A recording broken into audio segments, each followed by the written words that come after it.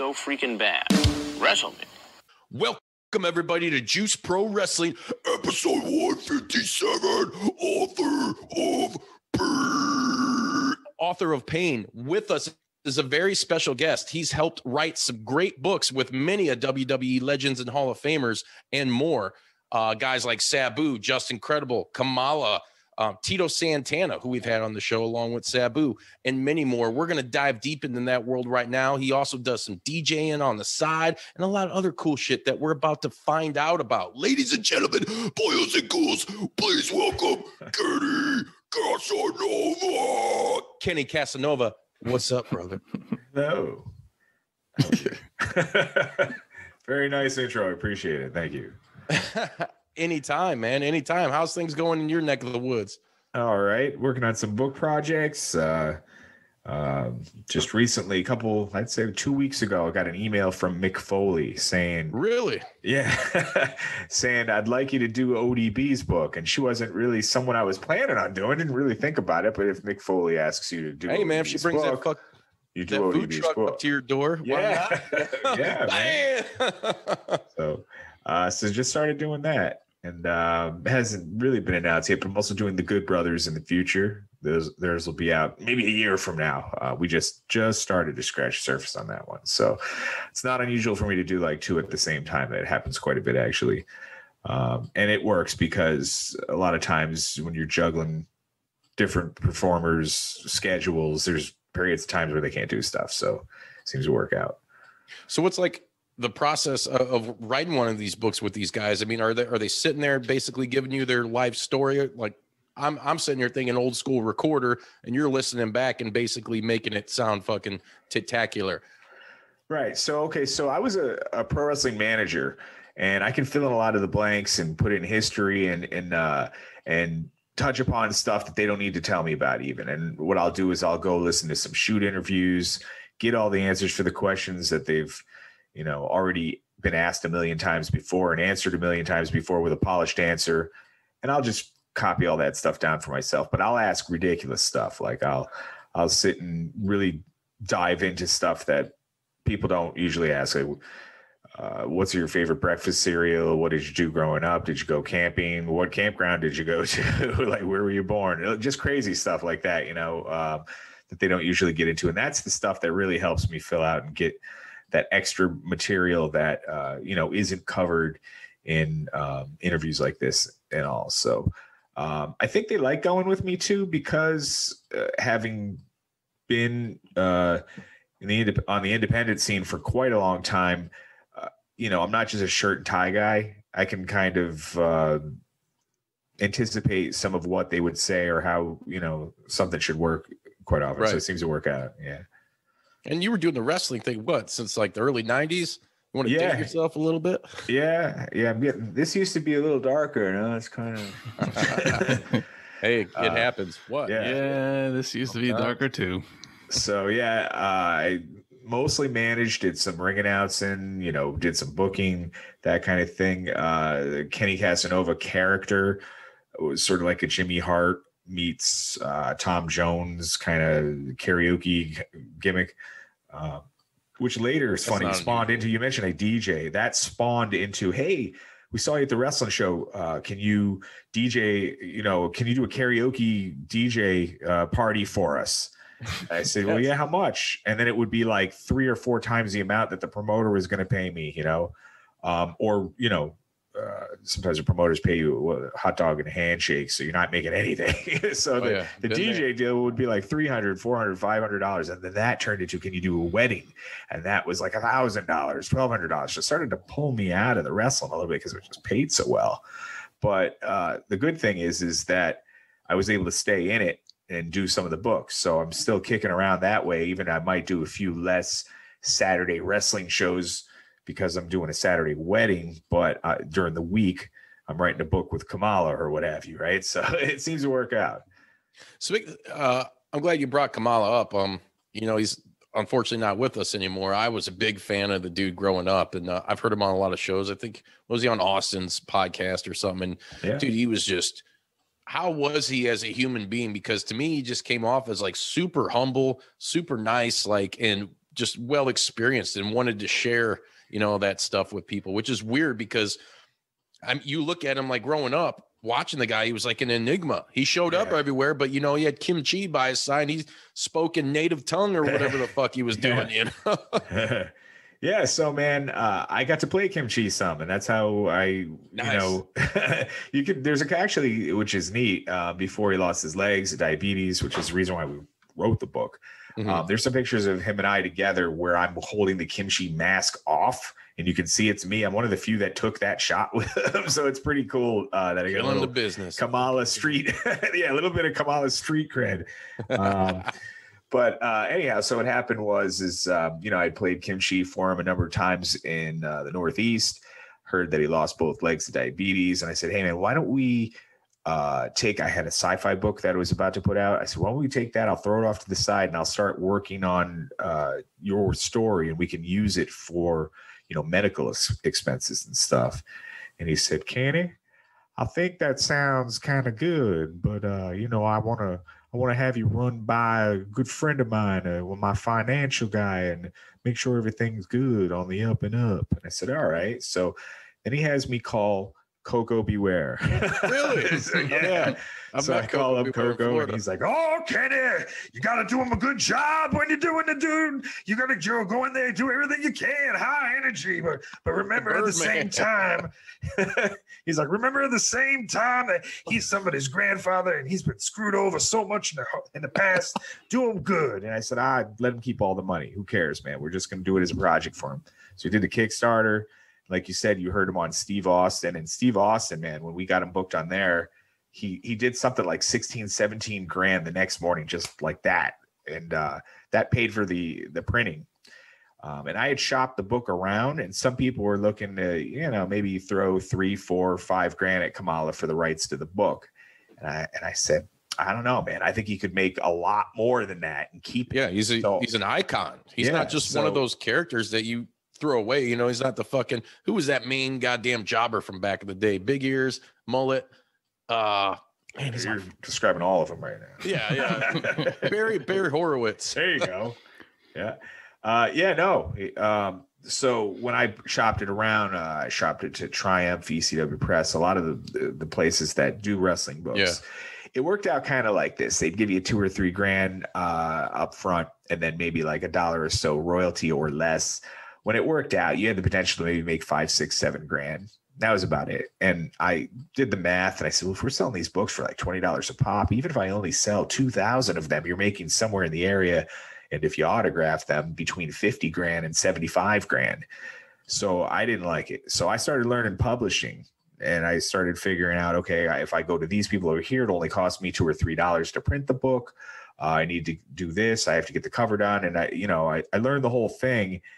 And then we just did it ourselves. We figured out a, a do it yourself, cut out the middleman, Punk rock, And- brother. treated the uh you know the publishers as like uh, you know um, an extra expense when I could do it myself and um when the book was released he made 60 grand right off the bat and. I was like we did it you know and it still sells a little bit and we you know I throw it to his wife and this and that now uh, it's kind of dropped off that was the first one I did um, seven books ago now or something like that but um, it did what it was supposed to do. It paid off his his house and his back taxes and everything. And uh, um, then you know other people started coming knocking, so I started doing some other uh, some other books, and it turned me into a writer more than performer. So I'm behind Right. the scenes a little bit now. it's super cool, man, because you're getting the interaction with some of these guys. And you know, I, I don't know, you know, obviously with you being in the business, I know uh, back in the day, some people, I know some people now they're involved in the business and they give give me this bullshit. It's like, well, in order to be in it, you can't be a fan. I'm like, that's the dumbest shit I've ever heard. You know, like uh, most people and the ones that are successful in professional wrestling are in it because they are fans. You know, even going back to your Hulk Hogan's who were huge fans of, you know, guys, other guys growing up. Like it, it just doesn't make sense to me. Um, but you get this to man, I don't even know how to put in the words. Like if I was to sit here right now and hang out, and yeah, we've had Sabu and, and Tito on the show, and it was very cool. But to actually be working with them, and as you're telling us, you know, you got this opportunity to do something now with Mick Foley, who's a New York Times bestseller like three or four fucking times over, you know. uh, what is the feeling like for you? Is it just a little bit numb? Are you kind of like just like, hey man, cool as so ice? now now i'm totally desensitized by it i used to really like be like like when i first Mark started out. That's that managing- famous oh, face, yeah, man. Like, yeah. When i first started managing like i was working with with mouth. Yeah. working with King Kong Bundy and Nikolai Volkov and all of these guys who had just Yeah. kind of left WWE and then were hitting the indie scene. Um, and they would be the headliners. And since I was managing, um, they might not want to bump as much because they're a little older. So they'd want the manager on the show. They, I'd get paired with them. So I started working with a lot of these guys. So early on, like I would mark out, oh, you know, Jake, give me the DDT. So Jake, you know, and I'd get the Cobra Clutch and I'd get a power bomb from Sid and all this stuff. And uh, then eventually it wasn't as special anymore. You know what I mean? I start to lose a little bit of that. And that's why, too, um, this might be a little weird, but I've had this conversation with some. You notice during COVID and before that, there started to be a lot of these autograph signings everywhere. Now, the now a lot of the wrestlers they have a whole second career with autograph signs, and I keep saying it's gonna kill the town. Like at some point, it's got to I think it's bottom out stupid. right? Like it's got to stop, and especially with the with the virtual stuff, because you would think the whole point to an autograph back in the day would be it proved that you met the person and you were hanging with them, and now to just buy an autograph or whatever seems odd to me. So Exactly. took- I would much rather now be sitting in the fucking studio with you, cracking open and Yeah. "Hey, Cold Steve Weiser," and going to town with this fucking thing. Yeah. That's that's how it is. Yeah, you know? So uh Mike Kinks uh Michael Kingston, who does uh Headlock Comics, awesome dude. Um he he said he said, Kenny, I think the reason is is you met so many of them now that it's not special to you, but it, it it's still special to them. Like I I posed that Yeah. question, I think, out there. Like, I don't get why it's special to meet with somebody like this, you know, and that, that's what they say. But I'll tell you when it's outside of my circle, then I kind of get a little bit tongue tied. Like, for instance, uh, I did Beefcake's book. He Yeah. had me call Wade Boggs. And I'm like, Oh. dude, that's ridiculous. That's you know, I'm like Wade Boggs, Ask like Wade. Boggs. You know, so and that's where I started to really feel more like starstruck. If that's what you're asking, you know, do you get Yeah. starstruck? You mark out I a do. little bit, you know. Yeah, I do for that kind of stuff. And like they had um who had me um uh Sabu had me call ICP. That was weird, you know, to talk to to talk to those guys, you know. Um so like to talk to people outside of the realm is very odd. Like I met um uh Billy Billy Corgan at, the Hall of Fame. Uh he just showed up to the Hall of Fame when Brutus Beefcake was inducted and he's in the back and he was wearing his impact gimmick, which was ridiculous. It was like this pimp outfit with like a fur coat and the rings and all of this stuff. This And I saw Him. Yeah, man. And like I'm back there and the big shows next to me. A lot of guys I'd never met before are all hanging out. And I'm like, this is pretty cool. You know, because yeah. a lot of these a lot of these guys didn't do the indies, so I didn't meet him. But the guy that I kept looking over and wanted to talk to was Billy Corgan because it's outside of like my norm, you know. Mhm. So um, that's kind of where I am with in a the lot world of of music, man. Yeah. Yeah. And that's what I, I'd like to do a book on a like a, a name rock star or something like that. You know, I think that'd be cool in the future at some point. Uh, Who who do you have? uh Speaking of that, who do you have kind of like maybe as a bucket list as far as other than outside professional wrestling? Out you know? wrestling? Oh, geez. I don't know. That's a Probably weird, endless. Yeah, I don't really know. You know, I actually tried just shooting some uh random emails and stuff like that. And the only person who bit was uh the Indian from the village people. So I and, that's that's been legit. waiting for that story. Totally legit.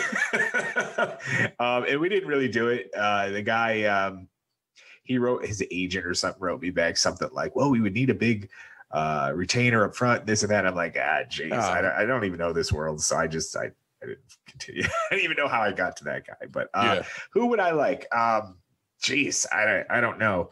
Someone like you know who would be a, a neat probably book that's sort of wrestling but not would be David Arquette maybe because he's out there doing some wrestling stuff now. Like he might be a cool dude to do Yeah. something on. You know, Why not have a book not to support the film? yeah, you know, that's that's pretty cool, man. I, um, I met him too, and that he was another one of those that was weird. Like when I met it, I was like, "Oh, geez, this isn't a normal guy I'm talking. He's not my he's not my circle." So, so I was a little starstruck on him too. But Well, I seen a picture. Um, so the year Beefcake went in, that was it. Was that the same year? Was that 2005? Same year as Hogan? No, so he went in only a couple years ago. They actually had That's what it was. Yeah, yeah. yeah, he went in uh I want to say 19 or 18. Maybe it was 18. Um, so the deal with that was funny. Uh just before Beefcake's book came out, he he got on the Twitter and he's hyping it a little bit and he's he's he's jazzing up Hogan saying it's going to be a tell all uh tell all book brother and, and Hogan's like, dude, if you tell all when I'm trying to repair my name because of Bubba the Love Sponge and like, you know, dropping N bombs or whatever the hell was going on, he's like, I'm gonna sue your ass. So, dude, and they were they had been broken up for a while. They weren't really hanging. Um, really. Yeah. So he was he was when he wrote it on the Twitter, he's like, I'll he's like, you better lawyer up. Like Hogan wrote and they don't mess around. Like him and Bischoff will sue your ass. So when he Yeah. when they started that, I'm like, oh shit, I just the book is coming out in like two weeks. I'm like about to And print just it. It's not runs coming it. out. You And- run and- it, damn it. And, and Hogan's like, I'm going to sue your brother if you put anything filthy in there about rats, you know? And I'm like, oh my God. So I actually uh, had to call, I called his lawyer, guy named uh, David Houston, like a Mhm. few days before it went to print. And I said, dude, let me read you the questionable sections and tell me what you think. And we took the high road to some degree, protected Hogan a little bit in some places. And Houston was like, okay, well, this is fine. I think we'll be all right. And I we got the blessing. And then after that, uh, Hogan had just jumped kind of back into WWE. And he told Vince, he was like, listen, Br- Brutus is being cool again. Why don't you throw him in the Hall of Fame? So Hogan, I think, and you know, they kind of book, they kind of book the Hall of Fame. It's not really merit. it's they not a- yeah. like a show. Everybody watching, listen knows. yeah, you know. all So. Hogan pulled him in. I'm almost positive that that's how it worked, from what I understand. He pulled him into the Hall of Fame, got him a spot on there, which would eventually probably happen anyhow, but he Yeah, made it yeah. happen quicker.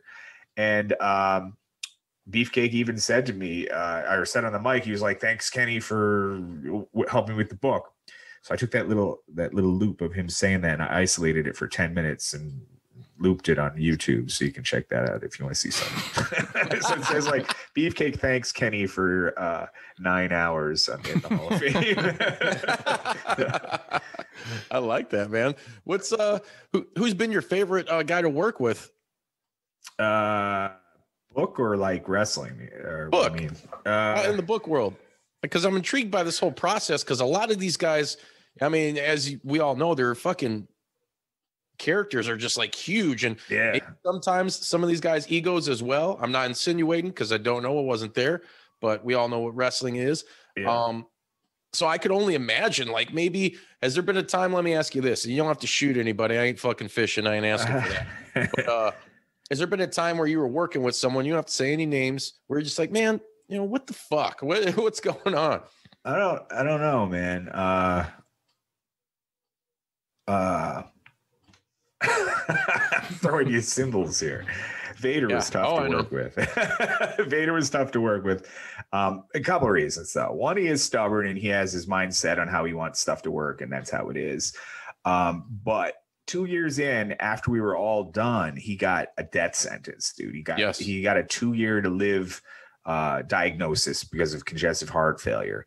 Right. So we both agreed at this point, well, there are some places in the book that if you pass, are you going to be okay with shitting on somebody as you did? And he only did it in a few places that it was, um, you know, it could be something that would haunt him to some degree, you know, if Right, he's right. on his deathbed thinking, I never fixed this with somebody. So there's a few places that this could be your opportunity to take the high road, same as Beefcake did, and ended up going to the Hall of Fame over it.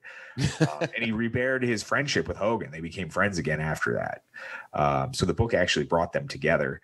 Uh, I said this to Vader. Um, he wanted to fix the Paul Orndorff flip flop section. He wanted to fix some stuff uh, with Michaels. So we kind of had to rewrite some stuff. Hmm. Um, same stories, but he just didn't maybe call them a name here or there or shit on them the same way, you know? So we kind of went back to the drawing table and it took four years for the book to come out instead of two. But I think it did, a, it came out really good. That's one of my more favorite books. Like it's pretty polished. I, I think uh, it's got a lot of his career in there. It's pretty good. I think the same with Sabu. Like his is very thorough. Um, but as far as favorite books, I think I'll loop back to what you said originally. Um, probably more of one of my sleeper books. Uh, do you remember Dangerous Danny Davis? Yes, the Ref. referee. He was Yeah. awesome. The evil ref, man. Yeah. Well, he didn't want to put a real wrestling book out. He wanted to do more of an inspirational type book for high school kids, is what we decided to do. Okay. He, he wanted to uh, talk about how he was a bad kid and how wrestling helped his work ethic and um, led him uh, from a bad life to a better life. And then he had to know when to stop, quit wrestling, and then uh, take over, you know, family responsibility type stuff. Um, and go back to his family because that, that's a big theme with the wrestlers is quite often they're married to the business more so than they are somebody and their family and they lose like you know a lot of uh, kids childhood and stuff like this if they have kids um, you know because of the business so uh, it tells that story it's a shorter book um, easier to read for kids but it has a definite clear story arc uh, kind of like a hero's quest kind of story story arc. So i wrote it more like a novel than a, a, like a memoir or an autobiography. There's a clear uh, beginning and a rise to a climax and then a finale and uh, uh, a good message with the book. So that's my more favorite one. I'm also an English teacher, by the way. So being able to plug in everything I learned about literature into uh, a story based on a wrestler's life um, was what that book embodied. So Well, yeah, that's why you got everybody going to you, man. They're like, hit the teacher. up. It make us Yeah. look great. nice and shiny and shit. Dude, uh, so are a lot of these guys, what was the, what'd you say the first book you did was? So I did Kamala and then I did Danny Davis and Beefcake at the same time. Uh, then I did Vader and uh, Sabu at the same time. Uh, then Tito Santana. I'm just wrapping Justin Credible now. Uh, moving on to ODB, and I've got half of Bruce Pritchard's written, written and uh, the Good Brothers in the future. Um, it's only 10 pages or so written of that. That's going to be a tag team book. I haven't written one like that uh, yet. I think the idea is we're going to alternate chapters and change the font so you can see who's talking. So That'd be cool. Make Yeah, like something choose your own different. It might be fun. yeah. so uh yeah, and I got a couple things I'm kind of behind the scenes helping with. Like, so we got a Mr. Hughes in the work, we got a Ken Patera nice. book in the work, uh in the works, and a Chavo classic, which is written. It's just a matter of kind of putting it together. Really? Yeah, just before he passed, he wrote one with a guy named Kirk uh Bushner Mhm. and and uh, he just didn't get it out. And um, I'm showing him kind of the, the publishing way to make money, where you can make money and not hand it off to a middleman. The whole formula that works for me. Uh, a guy named Robert Friedman. I'm not going to bore you with literature stuff, but he wrote a book called uh, "The World Is Flat." And it's he's not a flat earther or something like that, but uh, it's the idea that like if you know what you're doing and you have a website and you can use uh, you know, like Amazon and different things, uh, different um, websites uh, and uh, e-commerce. Um, you could compete with big stores like Walmart and Barnes and Nobles and stuff uh, if you know how to reach an audience, and you can sell more of a particular product than they could. Um, and uh, you know, using some of those kind of little formulas, um, I challenge anybody to to do it themselves and not turn the rights over to somebody of their artwork. I would say the same thing with music, probably. You know, um, while a big label could probably get you out there and put stuff, you know, um, in places where you'd never go, uh, there are some people that you know say that that's not the way to go because they keep all of your money and you just Yeah. work your ass off and never get anything. You get a so yeah, you get a small percentage and Right. they get the rights and they can keep pumping out, you know, Right. different versions, variants of vinyl and and merch and you don't get shit. Yeah, I think I heard an interview with uh, Dixie Chicks, right? And something like they don't own anything, and like they're just finally getting out of their contract now, and they're gonna put they're gonna do it where they're publishing their own music and the whole deal, and they're gonna own the rights to everything. But like, I don't know how long those, those they've been in the business, but probably like what 15, 20 years or something like that. Of Sony yeah. just taking all their money, you know, Yeah. that sucks. Well, and So- you get bands like Metallica, much the Yeah. same. It hasn't really been that long that they've had the rights to all their albums, you know? Yeah, I mean, they were on Elektra, and I think the first album, Kill 'Em All, was Megaforce. Hmm. So to finally get all that, which dude, they can re-release that, throw Yeah. maybe a couple extras or remaster it. It's gonna sell. They're gonna Yeah. make money hand over fist because of who they are now.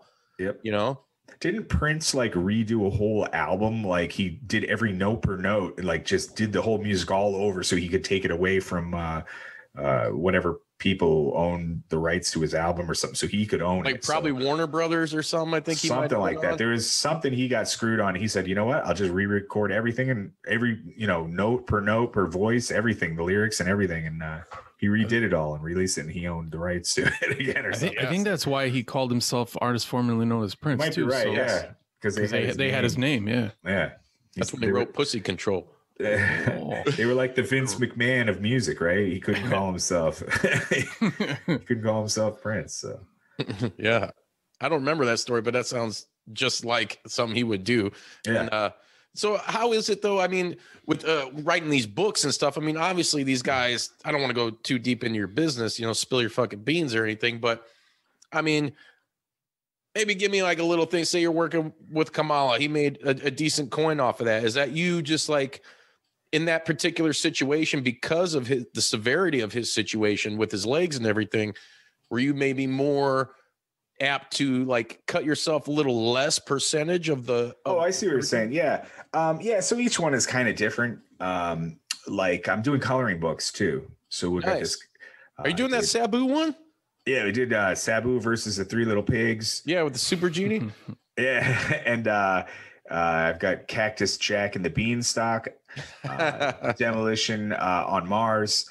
Um, so all of them are kind of like uh, fairy tales or like um, you know, kind of like a kid's story, but with the wrestlers in the main role. So like um, uh, Cactus Jack and the Beanstalk, it's it's Jack and the Beanstalk, but it's Cactus Jack playing the role. So when he goes up the Beanstalk, you know, with the whole um, the whole deal, he gets up to the top. There's a giant there to fight him. That giant's Vader instead because they had a like WCW Yeah. brawl, you know. His ear, damn it. yeah. Originally, it's funny that that coloring book uh, was going to be Hack and the Beanstalk. It was going to be Hacksaw Jim Duggan. and it was going to be Andre the Giant at the top. Um, Nice. But uh, last minute, he was concerned about a Legends deal, was worried about something, so it didn't, and we just switched to Cactus. And I, I like it. I think it came out really good. Um, so, but I mean, every deal is different. Um, uh, like for that, uh, the artist spends hours and hours and hours working on the book and it took me maybe two or three hours to write it you know? So now that the book is finally i think paid off the print run any money that comes in i'm going to give it to him. So the money that came first was just to pay for the print run and it's just about paid off. So uh, and then cactus jack uh, can take the book print as many of them up that he wants to um, bring them to appearances that's basically what we made the coloring book for they're more of an appearance merchandise thing right, right. uh, Which the is first awesome. guy, yeah. So the first guy was really taking advantage of that at the moment because Cactuses came out when COVID happened, so there weren't appearances. But Mhm. um, the Demolition on Mars is a spoof of the old sci-fi comics, and it's got Demolition go up to the you know to Mars, and they're fighting. Um, a bunch of clones who look like Superfly Snuka who know kung fu and they're zombies at the same time. so like it's all yeah, it's like a million of the uh, sci-fi gimmicks all wra- wrapped up into one. Um, so he can order as many of them as he wants at cost. You know, he's a he's a part owner with the thing with us. If Right. he wants to order hundreds of them, we say go ahead. Here's the printer, and he prints them up. Um, Mhm. And that's the good thing because a printer would not allow you to buy something at their cost. For Right. instance, Hacksaw Jim Duggan has a book with um, Triumph Publishing. They're uh, mostly baseball publishers, but uh, what what they do is if he wants to buy some books to sell on his merch table, they sell it to him at wholesale, same as they would sell it to Barnes and Nobles or whoever. But that's like twelve dollars a book wholesale, and they sell for twenty five dollars. That book, I could get that printed for buck seventy five to two fifty probably. So you can see that more about ten dollars a book is going to the publisher in profit. Um, as far as I mean, I know they got overhead and this and that, but as far as just looking at what it costs to print the thing, they're making a ten dollars on top of every book. So in this case, um, these guys can order as many books as they want, sell them, bring them to the appearances. I also set up a website for them.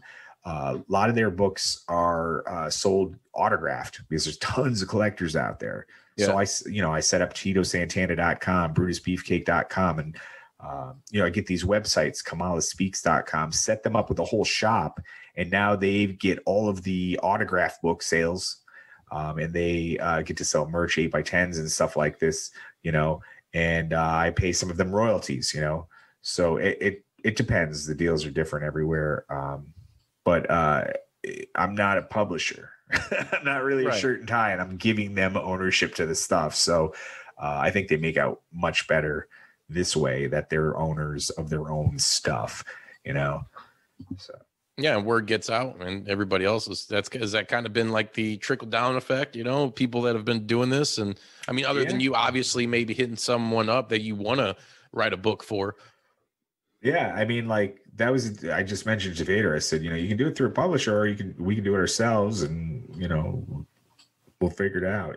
You'll make more Make though, more money. So um, that's why it went with me. I think you know. So Well, that's pretty cool. I mean, and you got to tell his story, and you know, unfortunately, at, at the time, you know, that it drops. Essentially, it's you know, he's, Yeah. he's passed on, and Yeah, so um, I don't know if you're familiar with Jesse White stepped in. That's his son. His son wrestled Yeah. some in NXT. Um, he did some stuff in over in Japan with him. Uh, he's actually a good worker. He just messed his knee up. He had done some football and screwed his knee up almost a lot like his dad. Uh, so he wasn't able to work a whole lot later on. Um, but he jumped in. Um, we just kind of, I just treated him like his dad, and we, you know, he got half the books, I got half the books, and we started selling them, and uh, we co-promote them. We went and did WrestleCon together, and um, uh, you know, he he got a deal now where it's getting translated over in Japan to Japanese. So now one of my books is going to be Japanese, which That's means it's, super cool. it's going to go like that and open like this, right, you yeah, know, like the and, uh, manga, you read yeah. it backwards, right? yeah, man. So it'll be pretty neat to see. Uh, he's got a different cover and the whole thing, you know. So, um, uh, yeah, it's pretty cool, man. Um, and it's really neat again to take control of your own artistry. You know what I mean? Create art, and you don't have to worry about someone else telling you how to do it. Um, I can write a book. 400 pages if I want, not have a publisher tell me I have to cut 75 pages after it's written, you know, Mhm. or what have you. Um, maybe the same you might have heard with Howard Stern liked it when he was able to go to Sirius and kind of run his own show Right, and right. kind of be the you know the master of his own domain um, because he can uh, run uh, an hour later or half an hour less or something every day, whatever he wants. You know, Say Um, whatever the hell he same wants. thing. Yeah. So Hey, you ever had any crazy wild announcements with any of these guys that you're writing a book with? Like, Not really. No, I, you know, I got worried a couple times that Vader's book wasn't going to happen. Uh, as he would say it, even himself, he would go dark. You know, Right. Kind of like a, you know, he would he would go dark. Uh, he would disappear for three or four months, and I'd start shooting him some messages. Dude, are we still working on this thing? And I'd get paranoid because I wanted it to come out. Actually, I started Vader's book right in the tail end of Kamala's book. So I had two other books come out before I finished his. Like his took a long time. Um, uh, so I would get paranoid. It's never going to happen. It's never going to happen. And, um, but he kept telling me if I go dark, he's like, it's not, it doesn't mean Kenny, I'm not going to do the book. He's like, just don't worry about it for a while. I'll come back. I'll come back to it. I'm like, all right. So, and he did. So we got it done. It just took a while. Uh, but no, uh, arguments, nothing really. No, uh, I'm pretty No, I mean, like, back. Not really arguments, but like, I mean, because obviously you've hung out with some of these guys, right? This hasn't Yep. all been, you know, via pan during the pandemic and Right, shit. right. Um, so you've gotten to spend some time with some of these guys, and you know, I mean, a lot of the wrestlers are known for maybe partaking in this or that, and Oh yeah. that's what I mean by like get, having any like wild and outs with these guys. Like ever, just it was just like one night me and Sabu were out and he was fucking getting ripped, and we had we partied up, enjoyed life essentially. Yeah, you know, uh, I- more so when I wasn't doing the book, I would say more so I would hang out with more of the guys and do stuff um, than during book time. It seems like that because a lot of the book stuff is mostly me talking to a guy uh, in a different time zone, like I am right now. Like we're not really, Right. uh, you know. Sid wanted me to come. I almost did Sid's book. Sid wanted me to come out to his um, his farm. Like he's got a like a big ranch type farm, and uh, I was going to do that. There probably would be more opportunity for you know shenanigans um, during the book if if I had done something like that. Sid's book was a funny story too. Another guy had written his book, but Sid didn't like it, and there were a lot of uh, areas that Sid said were embellished that shouldn't have been. So um, he kind of fired his writer, wanted me to do it. And then the other guy took all those notes and put the book out anyhow. And then there was a legal thing. And what happened from there was I became hesitant to write anything because if uh, deal with the if bullshit. Sid's, yeah, if Sid's su- suing this guy because he put a book out, and he did, he put a cease and desist on the book. Um, I was worried that this guy would sue me and or Sid if I put a book out that had some stories in it that were hand selected um, that were also in the first book. Do you see what I mean? If, Yeah. if the guy decided to go It's with this little buddy. story, I'm plagiarizing. You know, even though it is Sid's important story, maybe uh, Sid uh, with the, the scissors issue with Arn Anderson. The other Yeah, first yeah, guy yeah. could say, "Well, I put that in my book, and now you copied that idea. You used it in your book." You know, so I was like, "I'm done." Yeah. you know, it, it- it's not worth getting sued over. So I don't know what's going on with that, honestly, right now. Um, It's it's hard just to tell, know- brother. We've had Yeah. interactions with uh, both parties on. on Oh, you know what I'm talking about? Oh, you, yeah. You heard know these stories. firsthand. Oh, okay. I thought I was telling you it firsthand. Uh, but there you go. yeah, Sid was man. He was he was super hard. We had him on the show. There's an unreleased episode oh, that it'll never come out because the the audio was so bad, man. Oh, like okay. talking on a cell phone, and it's just Yeah. like it was cutting in and out, Yeah. and it's just really bad. But then after that, like I was in the studio shredding leaves. I continued to talk to Sid for like five fucking hours. Wow. Okay. You know, just hanging out in the studio, and I'm drinking. He's a good beers. dude. He'll talk to you. And he's, he was nice to me, man. I kind of wanted to do it. Yeah, One thing though is he's very particular. So again, that book would have been a uh, a beast to write, the same as the Vader book. It would have been some years to get it how he wanted it. oh yeah, Um, so I was a little hesitant on that, but I was more hesitant on legal issues. You know what I mean? So because of maybe my hesitancy or trying to figure out how we're going to do this, make it all work, um, that kind of made us kind of drift a little apart. And then just the project just didn't happen with me, unfortunately. So, and and it's nothing personal, just um, uh, more so if you start threatening people law, you know. I, a writer's not going to be able to be in a creative mindset. You know, uh, I'm going to be worried. Oh, uh, you know, uh, am I going to am I going to get a lawsuit from this guy over here? you know, doesn't want me to write the book. So uh, Right. it's not good. So hopefully they'll get that resolved. I said, man, they should fix it up. They can give me the book and I'll edit it and then I'll publish it for them and then everything will be cool. I mean, that's I'd like to be the mediator and just fix it for those guys. Every- yeah. know? Everybody worked together because that was kind of a shit show situation. like yeah, that. man. That's funny that you knew it all. You heard some of it though. Uh, Oh yeah. actually what happened is like i was saying amazon can be an awesome tool for a writer they can go on there amazon can print one book in Mhm. australia and mail it to a customer and you don't have to even be involved they can print the whole entire thing digitally from files you put on the cloud mail it out for you for three bucks so i don't have to mail it in an envelope for $20 to this guy in australia you know so um, this other guy did some of that type of stuff he did a kind of like print on demand kind of uh, and made the book just come out, you know, fast. And Sid was like, "We we didn't have the deal. We're no, we're done." You know, so uh, uh, I I think it's still in the court or something. I don't know what's going on with it now. To be honest with you,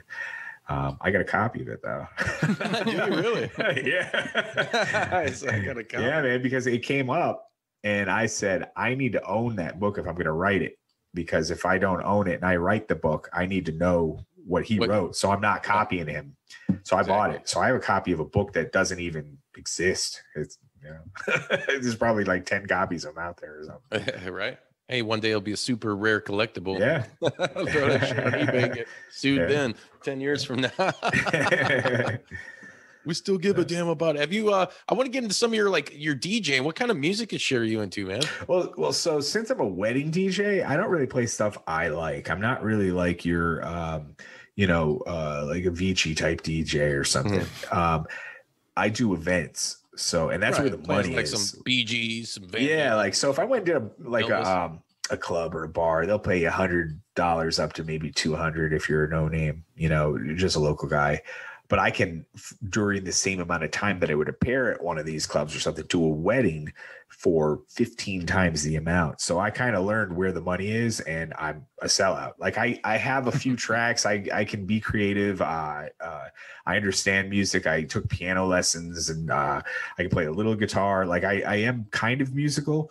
Um, but man, when I learned, you know, how to do the, the DJ stuff, um, that's the way that I went. And um, being a, an English teacher, it's really cool because during the uh, the summer you have no school, and that's when all the weddings and all of like uh, the, the the events happen. So I just shift out of that and then go into full force there. So it's almost like I have two full time jobs because most of these wedding DJs and stuff will make all of their money from like May to September, and um, uh, they'll you know you you can make like twelve thirteen hundred dollars or more. Some people make two thousand dollars for an event, um, and you have X. You only have this many weeks that you can do it, so they crank it up. So I almost can make um, a full career teaching um, and make the same amount of money, or if not more, DJing. So it's almost like working two full time jobs, but just work regular hours throughout the year. So it's pretty cool. Oh yeah, and you're having fun doing it, right? Yeah, man, and, and I'm creative. Like I figure out ways to like put things together. You know, uh, blend two songs, do something funny in the middle of a song or what have you. You know, that keeps people going. As I, I always look for the funny and stuff. Like I do the same thing with the books. I try to make them interesting and fun, and uh, you know, do goofy stuff. So Well, that's a dude. I'm looking forward to you talk about doing the uh, Good Brothers book, man. Those guys, Yeah. are fucking ridiculous. That's like right Yeah. up my alley's like sense of humor. we I got to figure out too how to. we we've been talking about that because I, there's a balance with it too. Because if I make the if I make the book in the voice of the their uh, uh, talking shop show, right, right. Shop, yeah, um, the you couldn't really read it. It would just be nonsense. You know what I mean? And I so I put I I wrote ten pages. talk. yeah, I uh, I did I did uh, ten pages early of like uh, Luke Gallows, him growing up as a kid and stuff, and uh, talking about backyard wrestling and everything. But I tried to put it in his Carney voice, you know, like oh we babyface my neighbor and stuff like that, you know, and, and all this. and it was so much that uh, him and I both agreed. We were like. This is just too much. We we got we have to actually find the happy medium where Mhm. there's almost like we're going to pull the curtain aside and you're actually going to see how smart he is like luke gallows is like um he's a, he's a wrestling promoter he can do every he's like really smart so some of this goofy nonsense that you see is really a written character and the uh, creativity behind the force of that is something that some people don't know so i think that's what will actually drive the book we're thinking of doing two books too um, we haven't even really said this out loud, so it's not really announced. So shh, don't tell anybody. But uh, uh, we're gonna do uh, up to up to WWE book and then a WWE book and thereafter. So it'll Nice. Probably be two books. Yeah. It makes sense, man. You know, tag team, you got to have it in twos. I, I like it. And like Yeah. you said, I, I think the dude's a fucking genius as well. Everything that they've done, um, marketing wise, you know, I've seen like the action figures, you know, the alcohol, the their show. It's it's so entertaining. Yeah, they had those spoof pay per views that were just like supposed to be bad, you know, but because they understand everybody there's an audience shit about about 'em. Yeah. you know, like, this is the worst piece of shit I've and and some Yeah. big names because dude, yeah. basically they got you know they're buddies with a lot of the big Yep. names in the industry, man. So it's Yeah. pretty cool. I can't watch this piece of trash. yeah. dude i thought that i thought that shit was funny. Um what was the last one they did? What i'm trying to think of the like jason character that uh that gallows did and Effy was on it. Fucking- he's like he's trying to torture Effy and he's like whipping him with his whip but Effy's just like oh yeah daddy. Like getting super into it. He's like, what the fuck That's just the great. little little things like that that rock my world and entertain me Yeah.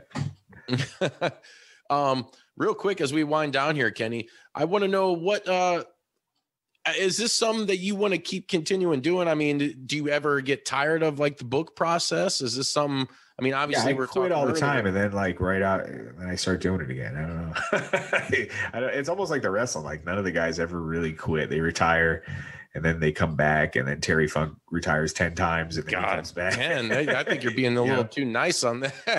Like fifty. But, yeah, you know but it, uh the book writing thing is in me uh as as is the wrestling and the performing and um i see elements of wrestling happen in my djing like when i do the wedding um introduction it's not just and now here's your bride and groom mr and mrs smith yay i mean i do the f- like the fink I was gonna say, It's queuing up the fink, brother. Like, Coming down the "No." aisle. just like that. Yeah, it sounds just like that. I mean, it's, it's funny. So, um, but yeah, wrestling taught me a lot of stuff. I mean, it kind of you know taught me storytelling, and it it taught me Exactly. uh, you know emotional roller coaster and trying to hit all the different bases and and you know keep the mainstream happy. Uh, a lot of stuff. I learned a lot of stuff from that, and uh, as did teaching. So, um, kind of a weird bag of skills I have, I guess now, and uh, I don't really want to give any of them up anytime soon. It seems Uh, so.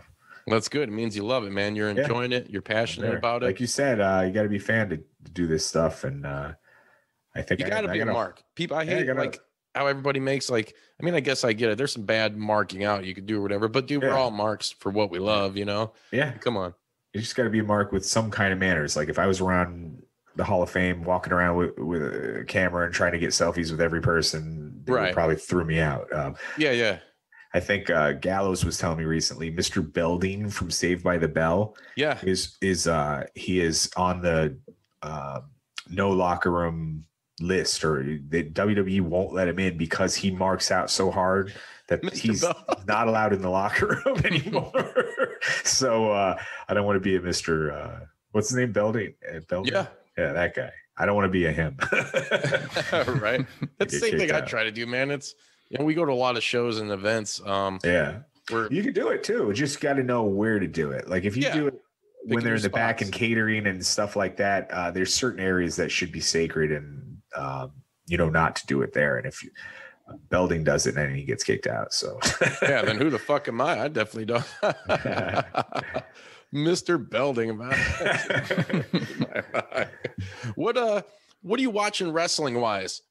right now AEW, I guess that's like my big thing. Uh, right when it started, I said, okay, you know, um, good point to start. Uh, it's not three hours a night. I know they have more programming now. They have dark and all. I don't really bother with any of that. I just watch the Wednesday show. Right. Um, and you know, there's stuff in there. You know, for me being kind of old schooler, certain spots and certain things I don't like, but I still don't have to follow um, three, four, five, six, seven, eight, or nine hours of like WWE of programming. Uh, I just watch a little bit of it, and that's it. Um, you know, and um, it seems like it doesn't. Te- it's not the same cookie cutter storytelling form that WWE's been for many years, where Yes. uh, I just watched a little Raw tonight, and uh, Drew um Drew Barrymore. Why is that in my head? True. That's not his name.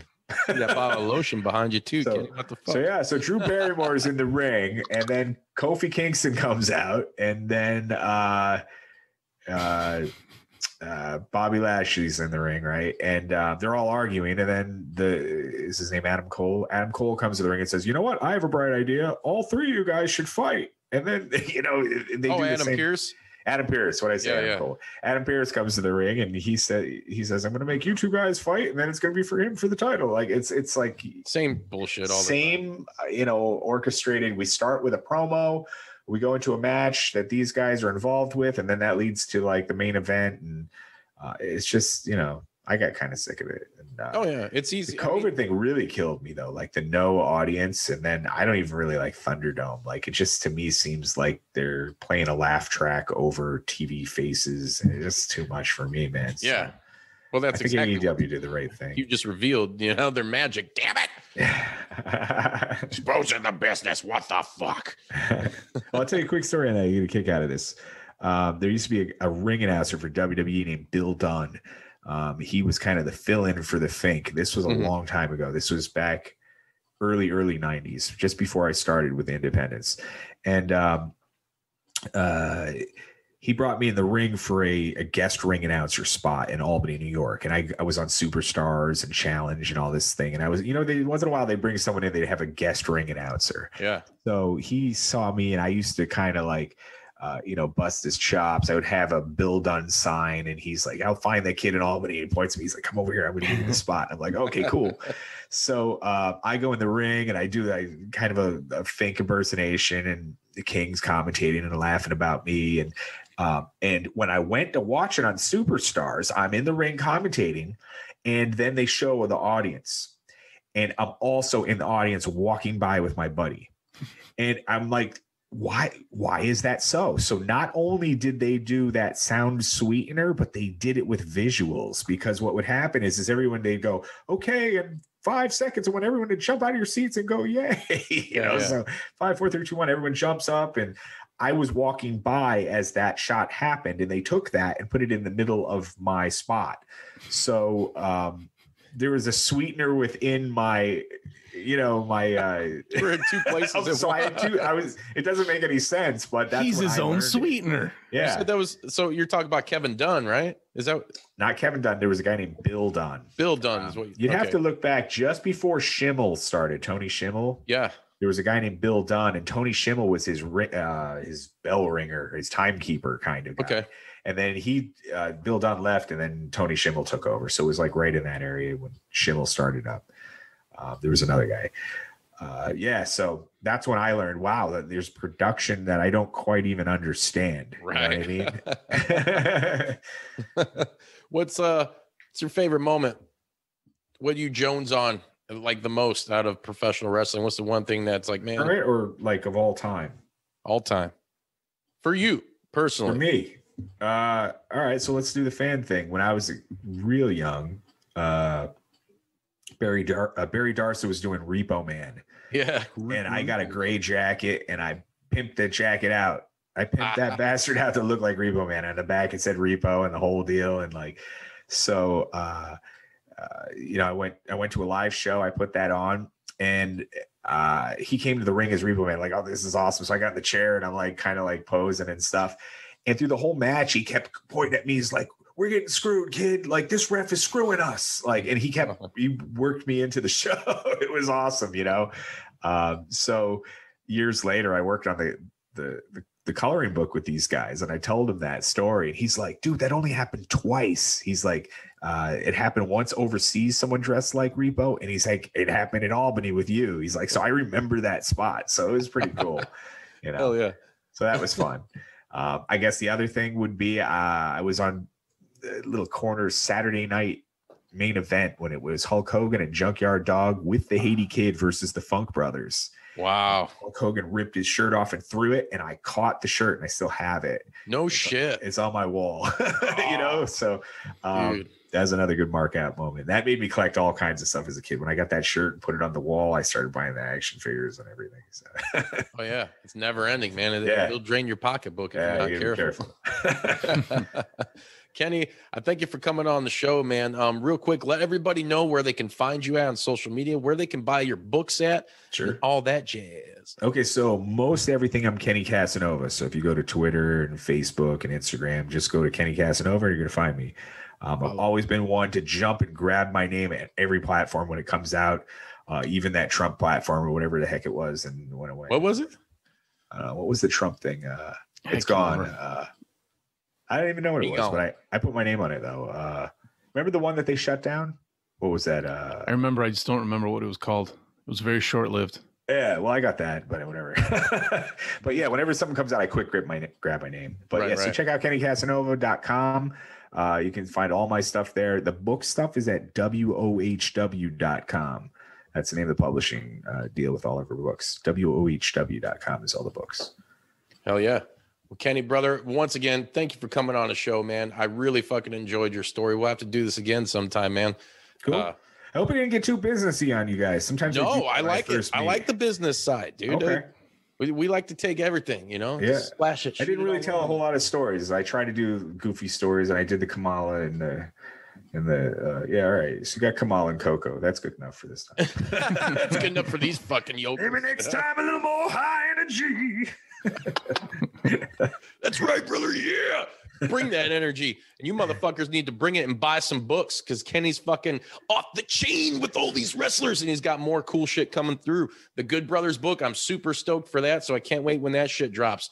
Everybody, thank you for watching, listening on any podcasting platform right now. If you're on YouTube, hit like, subscribe, ring that notification bell. Hey, and real quick, Kenny, what's your YouTube? My YouTube? Is it just Kenny Casanova? Yeah, I think it is. I think it's Kenny Casanova. Check it out. All right. Yeah, go on YouTube and check it out. You were telling us about that loop earlier, and I'm like, motherfucker didn't tell me where I can, you know. Yeah. Check it out. Go to Kenny Casanova page. You'll find Hell yeah. Until next time, follow us on social media Facebook, Instagram, Twitter, all that shit. We love you. Thank you for tuning in. As always, please rate and review. If you like it, great. If you don't like it, that's even better. Fucking tell someone how bad we fucking suck. I could give a damn. Kenny, thank you. You're an awesome guest, brother. Until next Thanks. time, wet 'em up, wet 'em up, wet 'em up. Oh my God, I'm so wet for Kenny Casanova. He's so great. Yeah.